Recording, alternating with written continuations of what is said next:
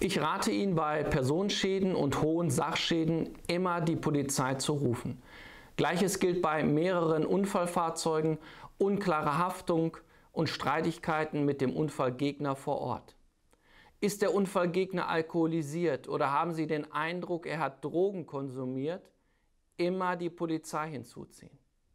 Wenn der Unfallgegner sich nicht ausweisen kann, Polizei.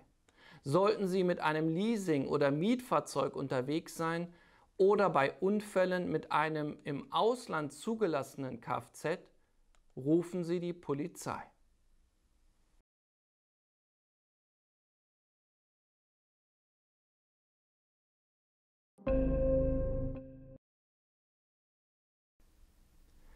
Sie erhalten einen Unfallbericht, Zeugendaten werden aufgenommen, Kollisionsspuren gesichert, die Polizei fertigt eine Zeichnung mit Stellung der Fahrzeuge an. Das erleichtert die Durchsetzung ihrer Ansprüche und man vergisst in der Aufregung nicht wichtige Daten zu notieren.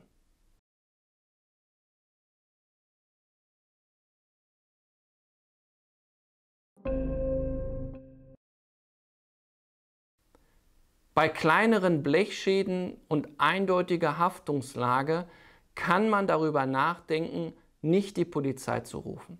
Es kommt auch vor, dass die Polizei bei kleinen Schäden nicht zum Unfallort kommt, sondern sie die Aussage bekommen, regeln Sie das bitte selber.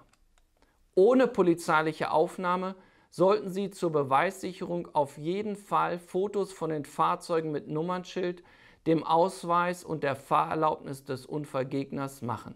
Sind Zeugen vorhanden, notieren Sie deren Daten.